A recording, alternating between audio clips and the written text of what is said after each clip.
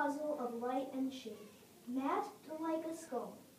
Bright grin beneath black sockets, alive and joking with fat. Skeleton laughing,